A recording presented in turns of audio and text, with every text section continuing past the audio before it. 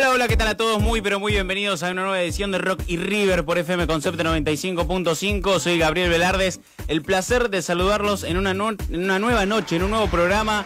¿Qué semanita venimos teniendo? Y hoy muy especial porque 2 de abril hoy recordamos, homenajeamos a los caídos en Malvina, eh, los veteranos que fueron a pelear por la patria, que dejaron su tierra, que dejaron a su familia, a sus viejas, a sus novias y fueron a pelear y a defender a la patria argentina, a cagarse de frío, a cagarse de hambre y a dar la vida por, por la bandera. Así que hoy el programa va dedicado a todos ellos ¿eh? y a sus familias. Muchas gracias a todos por estar del otro lado. Hoy acá no está el Tano, el estudio mayor de, de la radio en el microcentro de la ciudad de Buenos Aires pero nos va a estar acompañando igualmente vía comunicación por Skype, al igual que todos mis compañeros.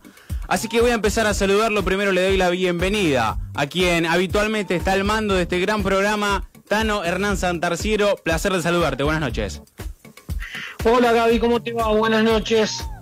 Bueno, a ver, empieza a cruzarse la información vinculada a el fútbol, al destino que nos depara en no solamente nuestra vida cotidiana eh, por, por el coronavirus, por la salud, por la cuarentena, sino también nuestra vida laboral. Eh, acabo de hablar con una persona Sí. y me alertó sobre algo y directamente hago otro llamado con otra persona y coincide plenamente en lo que me dijo la primera. Los dos tienen vinculación directa con Conmebol. Me dicen que la Copa Libertadores de América, que es lo que nos importa a nosotros, se va a jugar prácticamente en las mismas fechas, pero el año que viene. Sí. O sea que River tendrá que jugar los cinco partidos que iba a jugar, en los cuatro partidos que le quedaban por jugar en este año, más o menos en una fecha parecida, pero el año que viene. Y que se van a postergar los compromisos de Conmebol, de Copa Libertadores de América y de Copa Sudamericana. O sea, queda nulo lo que dijo Domínguez de que empezaba en mayo. Ayer tenía la información eh, y hoy, claro está, no, no tenía por qué eh, inmiscuirme en volver a preguntar, porque ayer había hablado con alguien que tiene eh, línea directa con la Asociación del Fútbol Argentino y me dijo, Tanito, prepárate que para de mediados a finales de mayo o en su defecto a principios de junio vas a empezar a relatar nuevamente al millonario por el fútbol local.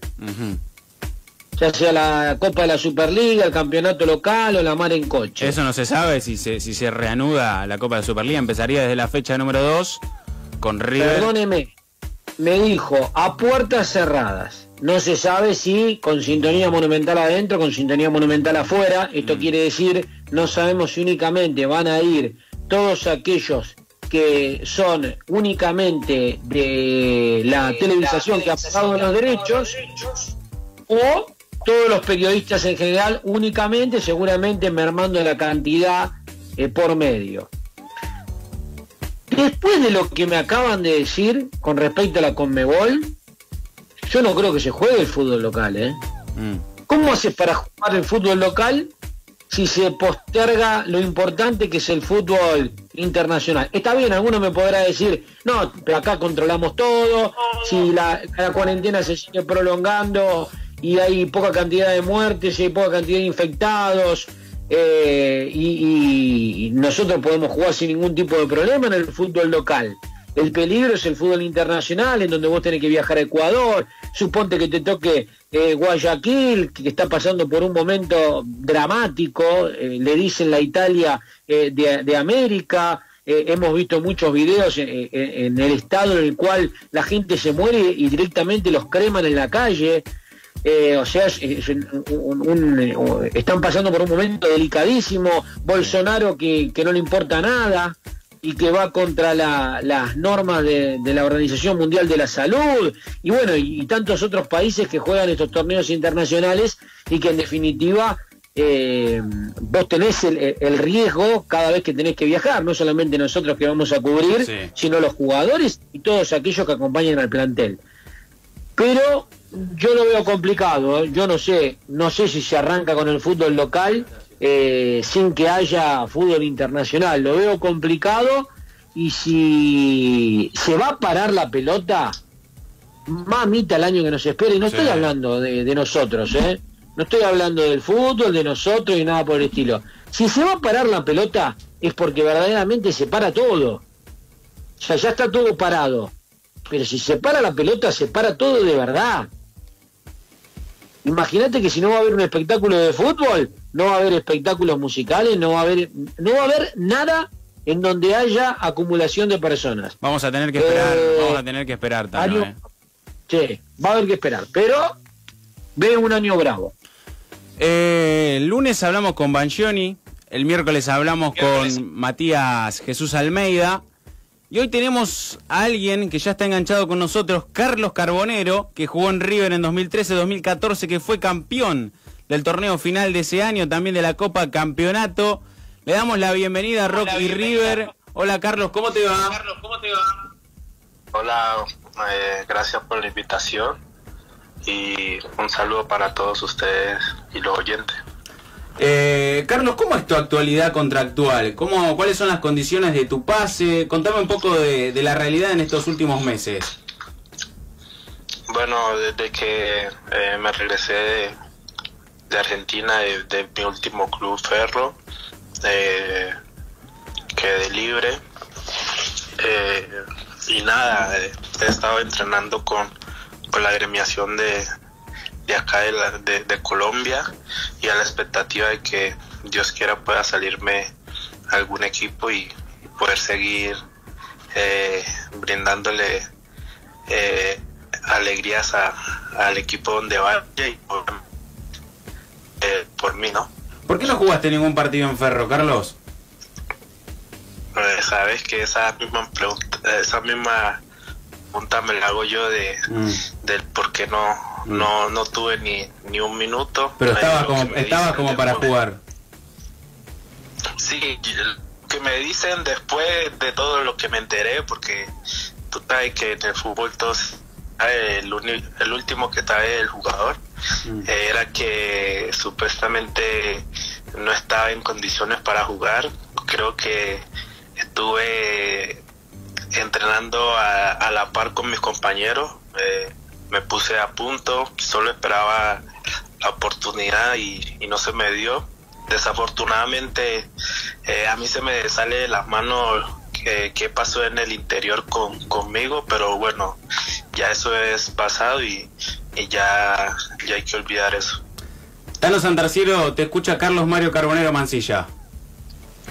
Carlos querido, buenas noches, bueno, gracias por este rato. La verdad que quedan pocos jugadores de, de tus características, ¿no? Ese carrilero eh, nato que, que, se mueve como un volante con, con proyección, con llegada al gol. Es más, hoy eh, se conmemora eh, el día en el cual vos le convertís, si mal no recuerdo, a Newell's Old de Rosario en el Estadio Monumental, fue un, un, 2 de abril, que convertís un tanto para que River le gane al Leproso eh, en un partido trabado en el cual a River le costó que llegaba después del Ramirazo, después de ganar al rival de toda la vida, y que seguía encaminándose hacia el título, el último que River consiguió eh, en condición de local. Una, una vida futbolística rara la que te ha tocado.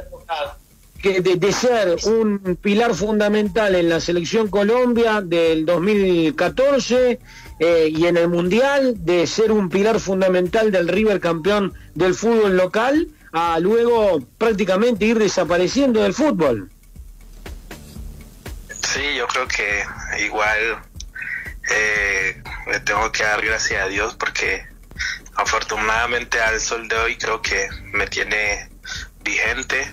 Obviamente han sucedido han pasado estos años cosas que como lo, la lesión donde eso te, te aparta un poco.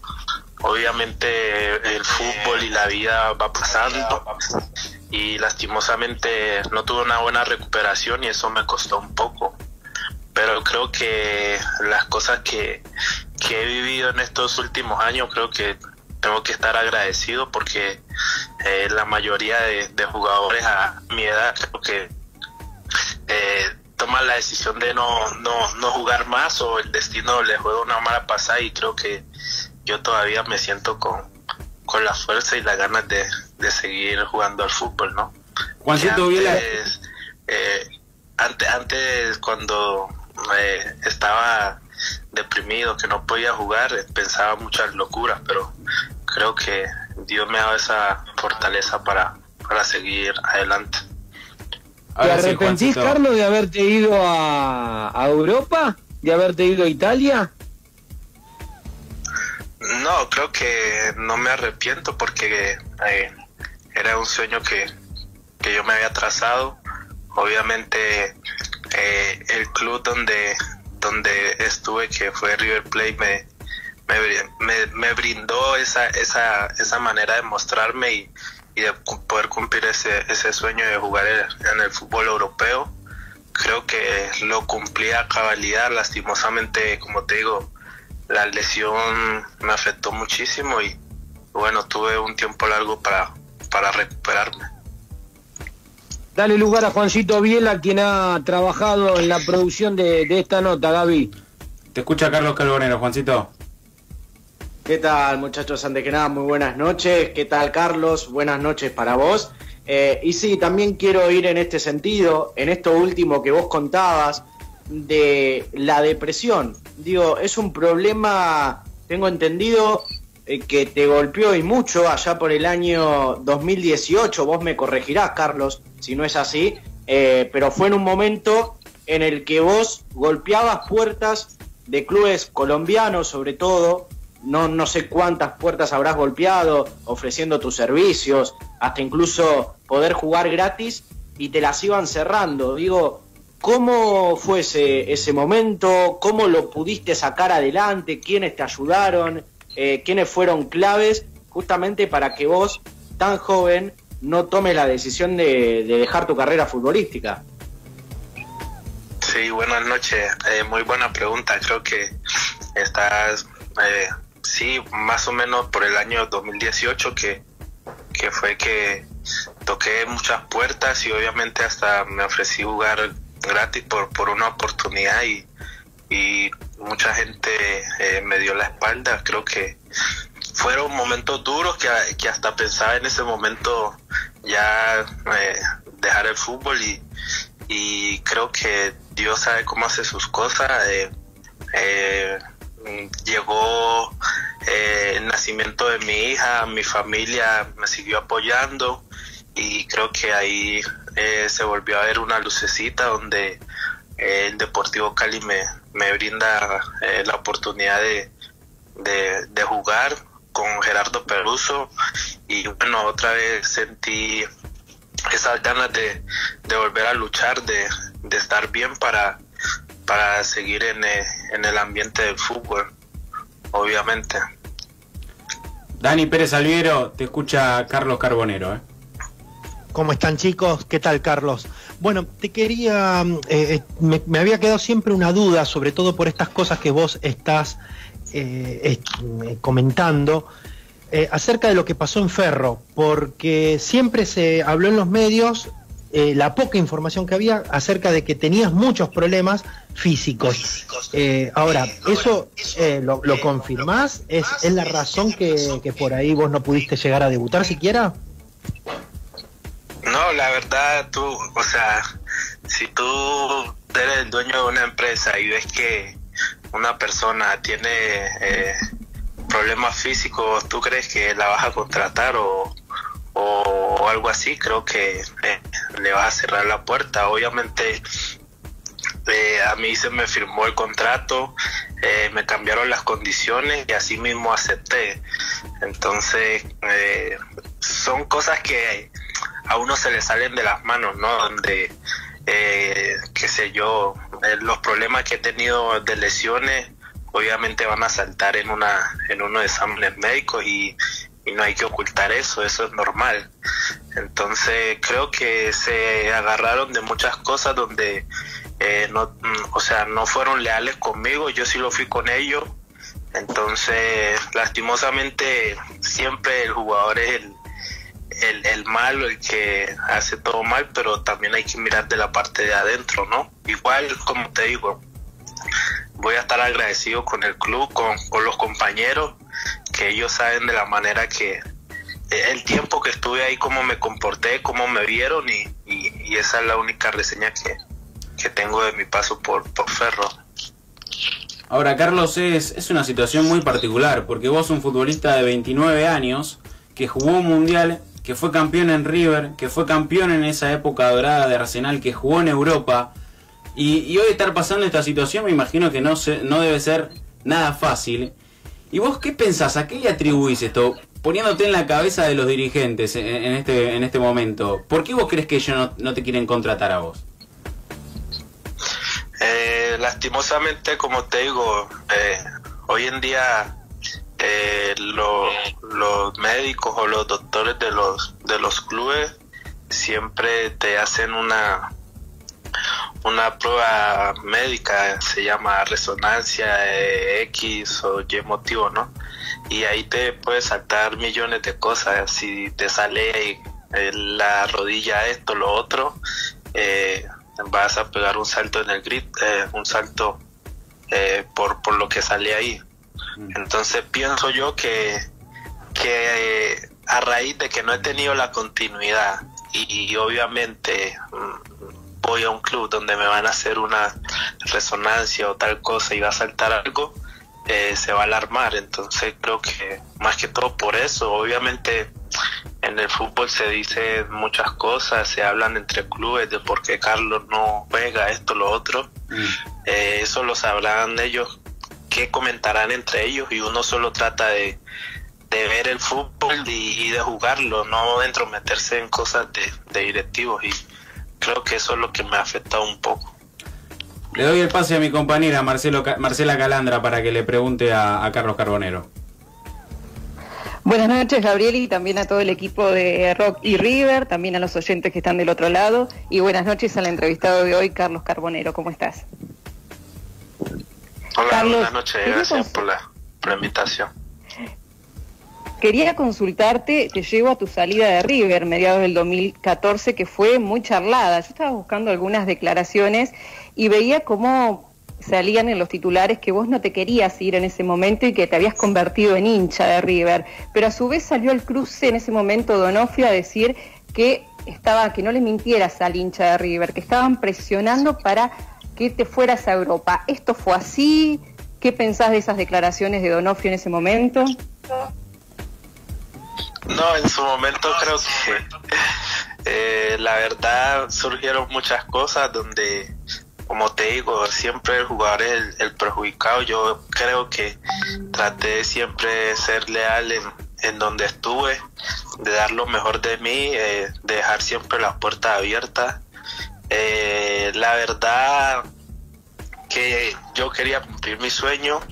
Eh, en ese momento hubo cambio de, de dirigencia, eh, donde llegó eh, Donofrio y, y Enzo Francescoli, donde eh, yo ya daba por, por, o sea, por cumplir mi sueño a Europa, y entonces eh, ahí no hubo una comunicación, eh, tomé la decisión de que quería cumplir mi sueño, ya lo que salió a decir Donofrio creo que creo que un poco sí me afectó porque habían clubes donde eh, querían contar con mis servicios y a raíz de lo que salieron a decir eh, en los medios se me cerraron algunas puertas, pero eh, creo que logré cumplir mi, mi sueño y, y nada, a Donofrio, a, la dirigencia de- que, que está siempre le lo mejor. Gonzalo Salaverrieta, buenas noches, bienvenidos. Puedes preguntarle a Carlos Carbonero. A ver si nos escucha Gonza. Si no, vamos con el Tano, ¿eh? Tano, vos estás ahí, ¿no? Estamos hablando con Carlos Carbonero, que jugó en River en 2013-2014, que fue campeón. Eh, ¿Recordás tu paso por River, imagino, con mucha felicidad? ¿Es el mejor club donde te tocó estar en tu carrera? ¿Cómo lo recordás?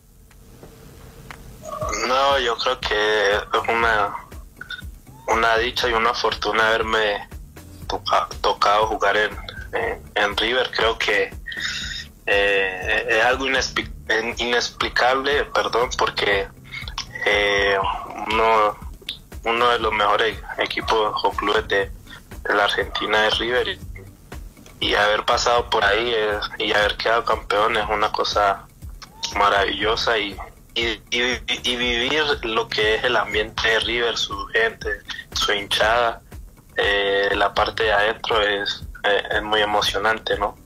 Ahí vi las dos caras de la moneda, como se dice. Eh, cuando llegué me costó un poco adaptarme y ya después adaptado con la ayuda de, de, del cuerpo del técnico creo que eh, me pude adaptar y así fuimos los, que llegaron en, ese momento. Gonzalo, vos. Bueno.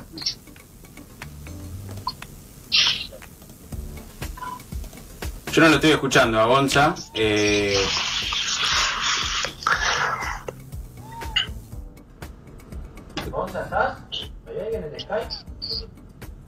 Bueno, Carlos, eh, ¿cuál es el gol más lindo que te tocó hacer en River? Yo recuerdo dos y tengo en la mira dos, pero a ver si vos te acordás y, y me decís cuál es el más lindo que te tocó hacer.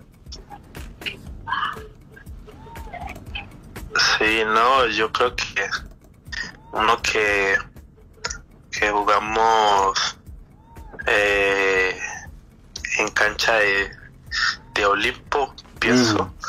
Que recuperó una, una pelota ahí en campo de ellos, eh, enganchó con derecha y, y, con la izquierda la ubicó al otro palo el portero. Sí, e, e, ese es lindo y después recuerdo uno con uno con Racing también.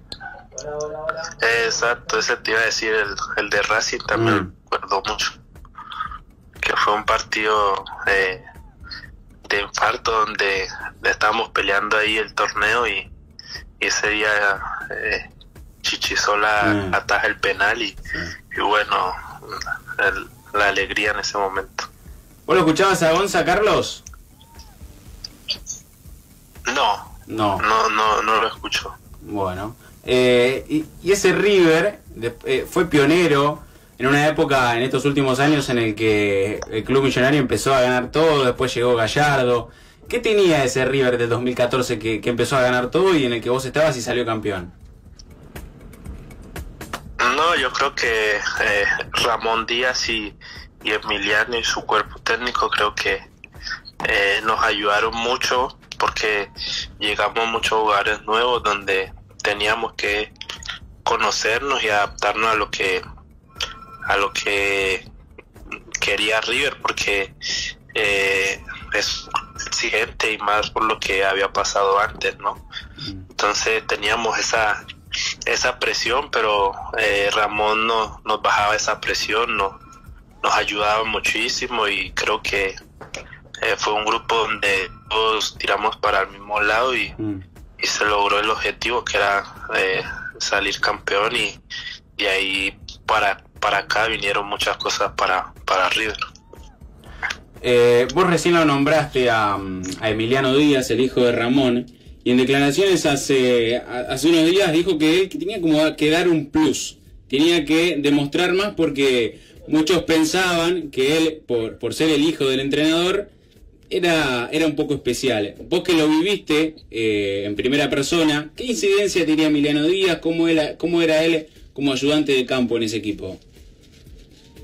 No, él, yo creo que la verdad no nunca había visto una persona que, que, que, se empeñara tanto en, en la evolución de, de su mm. grupo. Siempre estaba ahí al tanto de, de todo, de, de los videos, de, de, del mecanismo de, encarar cada partido. Creo que eh, Emiliano siempre nos daba las herramientas para, para saltar al terreno de juego y hacer las cosas que, hacíamos, ¿no? Entonces creo que influyó mucho y bueno, lo, lo está demostrando en las diferentes partes que ha estado con, con Ramón Díaz. Ahora sí, Gonzalito Salaverrieta. Ahí te escucho perfecto, Tano, ¿eh? Ahora sí. Dale, Tanito, que se escucha bien. ¿Escuchas ahora? Soy el Tano Santarciero. Sí, sí escucho. Bien, perfecto. Esto de que tenemos que tratar de hacer una conexión vía Skype. Estamos los cuatro enganchados por esta línea y únicamente Gaby en el estudio por recomendación de la radio, claro está, para tratar de evitar el contacto, la cercanía, etcétera, por, por este coronavirus eh, que nos está azotando a todos, a todos los del planeta, ¿no? ¿Cómo se está viviendo? ¿Estás en Bogotá, en Colombia? Hola, buenas noches. No, estoy en, en Cali y la verdad, como tú dices, no, nos está eh, estancando un poco este, este virus y obviamente acudiendo a todas las precauciones posibles para que eh, esto pase lo más rápido posible. Por suerte, digo, pudiste hacer una diferencia económica como para ahora poder esperar la posibilidad de algún club.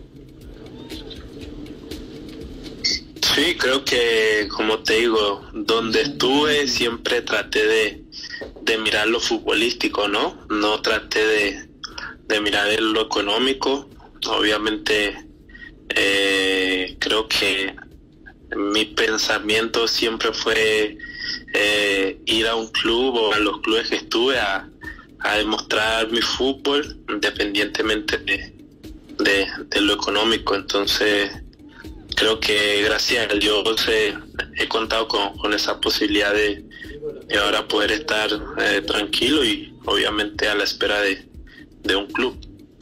Dale rienda suelta al resto de los compañeros, Gaby. Sí, quedó pendiente la de Gonzalo Salaverrieta. Hola, Gonza.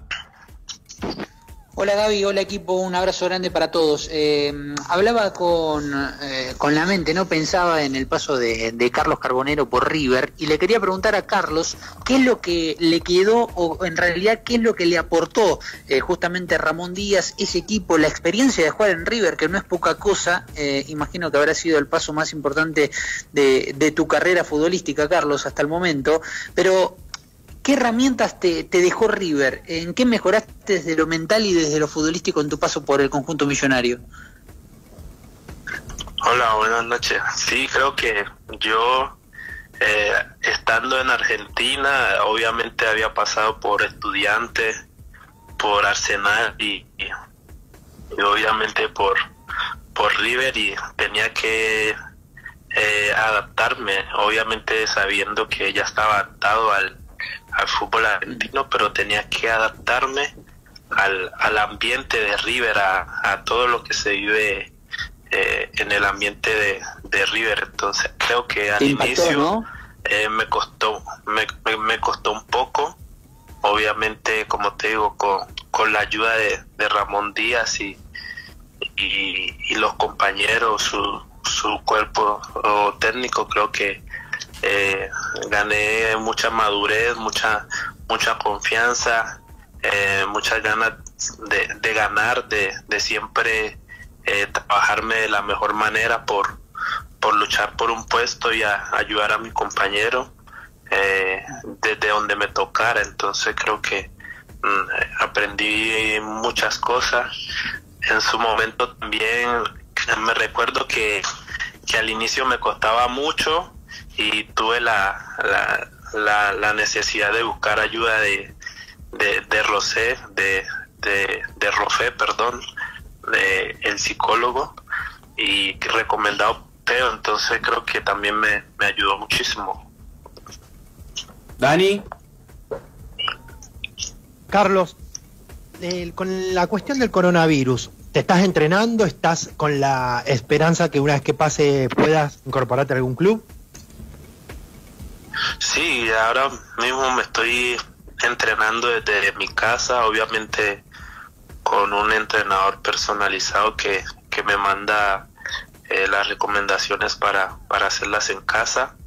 Eh, venía entrenando en la agresión, también a la expectativa de, de buscar un club y desafortunadamente llega este virus, pero siempre con, con las ganas de, de seguir trabajando para, Dios quiera, tener una otra oportunidad de, de, estar en un club. Juancito Vielac.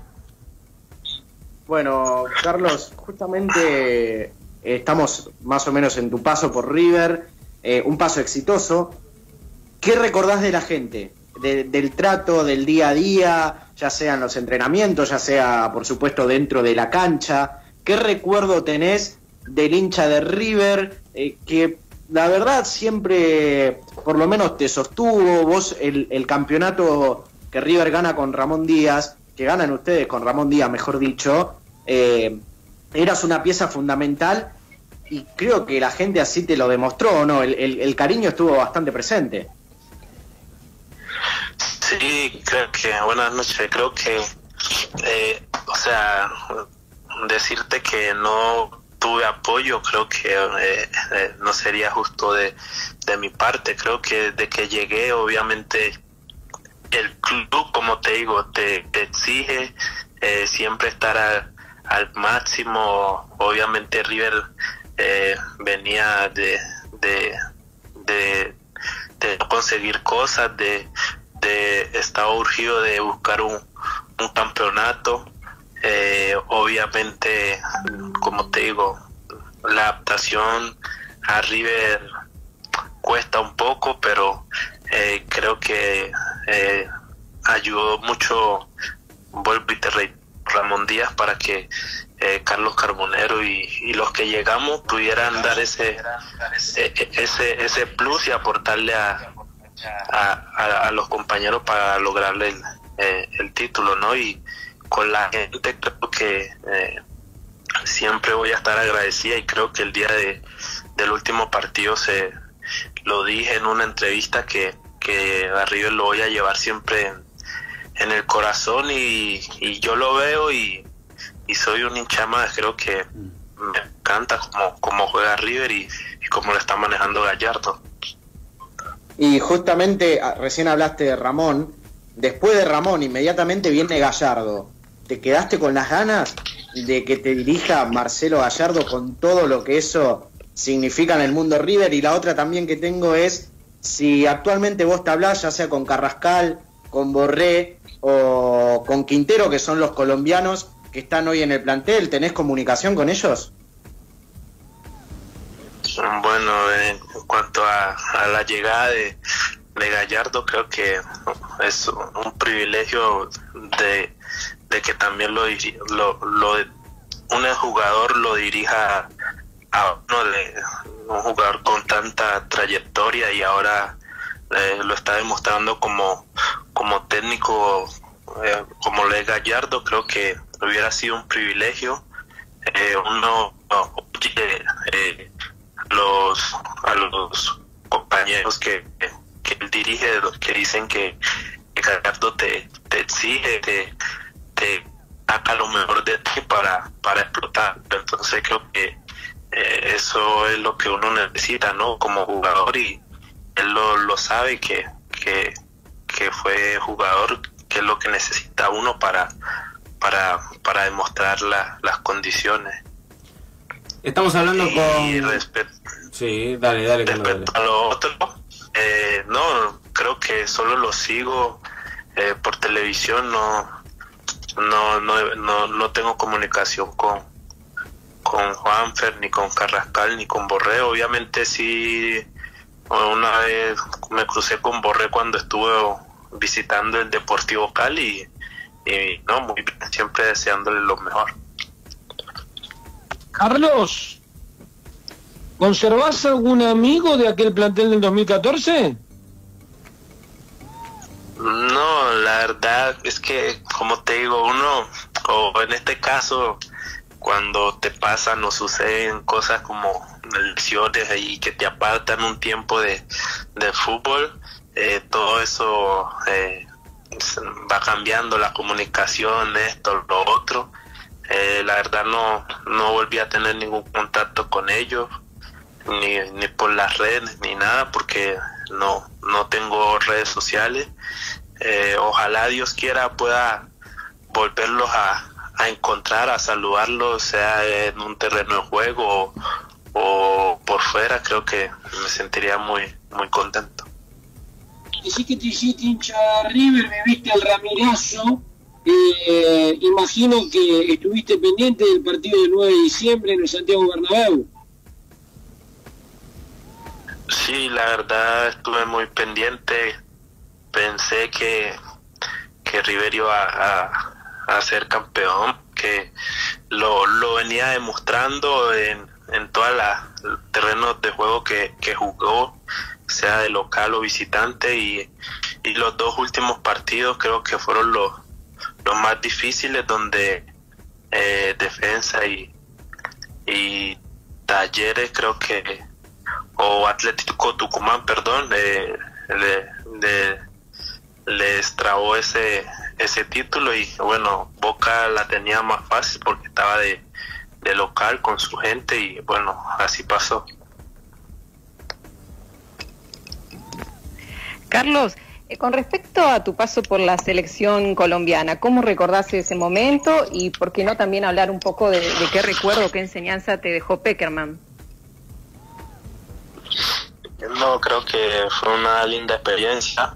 Eh, yo siempre cuento de, cómo llegué a, a, a, la selección de Peckerman, donde eh, venía haciendo un buen campeonato con River terminé eh, en buena forma con River y, y, solo se hablaba que si esperaba un llamado de la selección y yo solo decía que, que trabajaba para algún día ser tenido en cuenta porque con Peckerman nunca estuve ni había estado en un amistoso ni nada y mira cómo es la vida que yo ya estaba de, vacaciones prácticamente, había iniciado dos o tres días de vacaciones cuando se me da el, el, el, posible llamado de entre tres opciones que, que tenía Peckerman, me escogió a mí. Entonces creo que muy contento, nunca se me va a olvidar esa otra parte de mi vida futbolística y, y siempre lo recuerdo con, con como un mayor logro de jugar un mundial para mi selección. Y aparte en ese mundial le fue muy bien a Colombia, llegó a cuartos de final, eh, eh, Carlos, ¿cómo lo viviste? Claro, o sea, no fue de casualidad porque creo que todos venían en, un nivel muy altísimo, jugando eh, la mayoría de partidos en su... llegar yo por primera vez de una mundial y rápidamente adaptarme creo que eh, eh, se ve que había muy muy buen trabajo de, de Peckerman me recibió muy bien entonces también su staff eh, técnico entonces creo que fue muy muy lindo estar en, en ese mundial que, que se hizo cosas muy muy buenas Carlos me interesa Sí, eh, te, quería consultar, eh, Carlos, la experiencia de jugar el Mundial es definitivamente, como dicen muchos jugadores, lo máximo que puede aspirar un jugador. Sí, yo creo que la verdad, jugar un, un Mundial para tu país, eh, o sea, es una cosa que, imagínate, un Mundial es cada cuatro años y, y tenés que, el fútbol va evolucionando cada día y cada selecciones, eh, en este caso, eh, complicadas como Argentina, las eliminatorias, Chile, Bolivia, Ecuador, y, y se te hace más difícil eh, clasificar a un mundial. Entonces, creo que ahora está en su selección, que, que esté en su club y lo llamen a, a un amistoso, a hacer un microciclo con la selección, creo que y, jugar un mundial, eso es único. ¿Sabes qué, en qué quería focalizar, Carlos, volviendo a, tu paso por River? Eh, en cuanto llegaste a la institución, más allá de lo que vos podrías saber por videos, por información que te han aportado, por lo que vos mismo podrías haber eh, buscado en internet o hayas visto en la televisión, cuando llegaste a River, ¿Qué fue lo que te indicaron para hacerte darte cuenta qué es lo que significa River en la Argentina, en Sudamérica y en el mundo? Y si hay algo que te haya sorprendido de todo esto, ¿no? Hablando un poco de, lo que es el mundo River y la importancia que tiene la institución millonaria en, el mundo.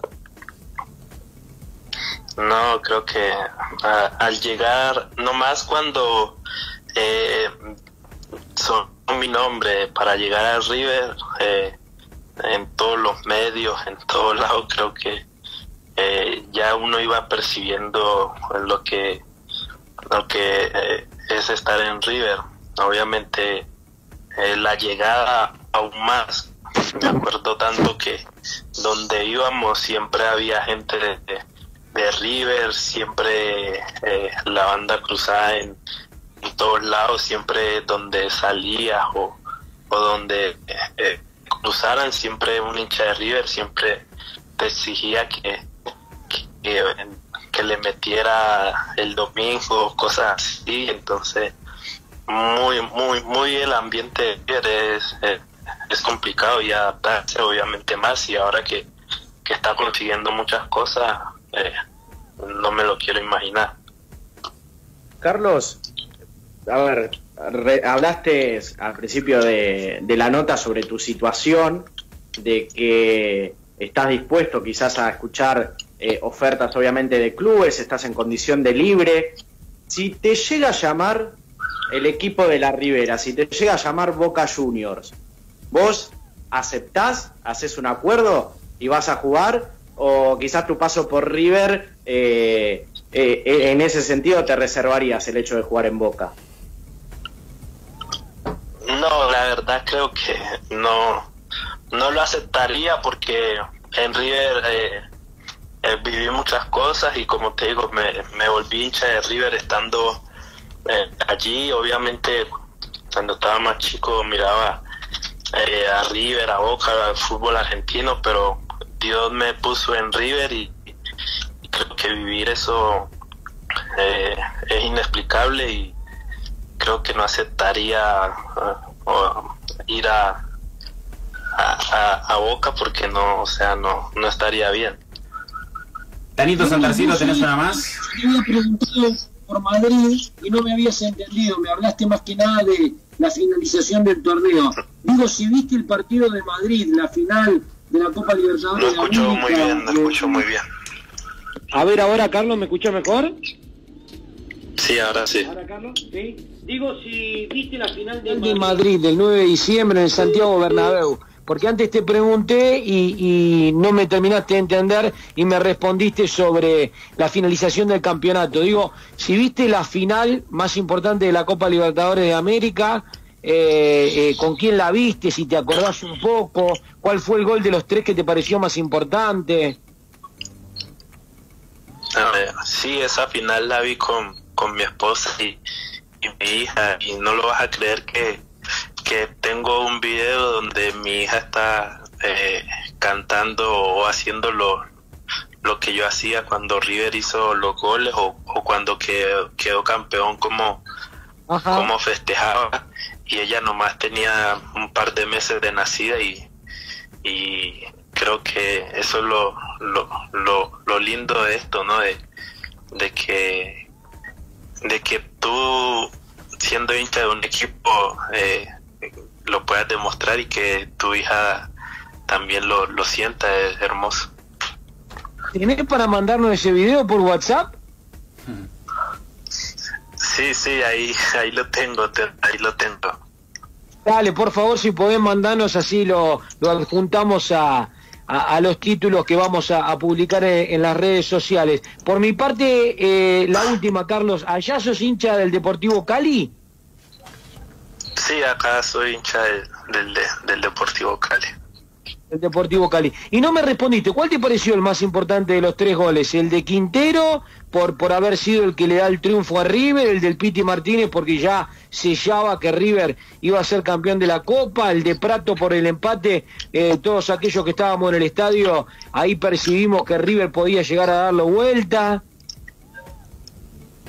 No, yo creo que eh, el del empate porque eh, te da un plus y obviamente River eh, se montó de lleno en el partido y ahí viene el gol de, de Juanfer y, obviamente el pit el de Piti Martínez donde eh, Boca no lograba encontrar encontrarse y bueno ahí desafortunadamente para ellos y afortunadamente para River que, que quedó campeón. Gaby, por mi lado ya estamos. Dale, bueno Carlos, eh, te agradecemos mucho realmente por tu tiempo, te mandamos un saludo muy grande y deseamos realmente que, que puedas encontrar un club que pueda demostrar tus condiciones y que, y que Dios te abra las puertas en, en un nuevo camino. La verdad que muchas gracias por, por estar pendiente de mí, me agradó mucho la nota y bueno, un saludo para todos ustedes, para la gente de River y y por estar pendiente y se cuidan. Un abrazo, Carlitos, y esperamos el video. Que está parando un poco. Esperamos el video, como dijo el Tano. ¿eh? Pasó Carlos Carbonero. ahora, ahora podremos. Pasó Carlos Carbonero por el aire de FM Concepto 95.5 por Rock y River. Tanito, estamos llegando al final del programa. Algo para, para agregar e irnos en esta noche de jueves. No, un poquito lo que, lo que habíamos eh, conversado, informado, de acuerdo al posible futuro del fútbol, al posible futuro de Sintonía Monumental y también de, River. Así que bueno, quedará esperar eh, para todos aquellos que tienen Twitter, vean el video que subí eh, de un bombero de tortuguitas mostrando la gran cantidad de barbijos que no sirven para nada eh, aquí Valeria Mera en Rocky River explicó que los barbijos son para únicamente los infectados. Bueno, este bombero eh, mostraba que hay poquitos barbijos que sirven, el resto hace que las partículas salgan, entonces no sirven absolutamente de nada. y, bueno, y seguir tratando de, prevenir la mayor cantidad de, de contacto posible, tratar de seguir estando en casa y tratar de, higienizarse continuamente eh, los calzados con, un trapo con lavandina, las manos y, bueno, y tomar la distancia si es que uno debe salir con las diferentes personas. Eh, Gabrielito Velardes, un gran abrazo, nos reencontramos Dios mediante mañana que estaremos charlando con un campeón de la Copa Libertadores de América 2015. Un placer, Tano. Saludamos también eh, a mis compañeros Daniel Pérez Alviero, Juan Bielac, Gonzalo Solaverriete y Marcela Calandro, que estuvieron conectados hoy en esta comunicación vía Skype y con esta charla que hicimos con Carlos Carbonero en el aire de la radio, en el aire de FM Concepto 95.5. Hasta acá llegó el Rock y River de la jornada. Nos reencontramos, como dijo el Tano, mañana a las 10 de la noche por acá, por FM Concepto 95.5 para, para esta nueva nota que tendremos mañana. Abrazo grande, quédense en casa y escuchen la radio. Abrazo.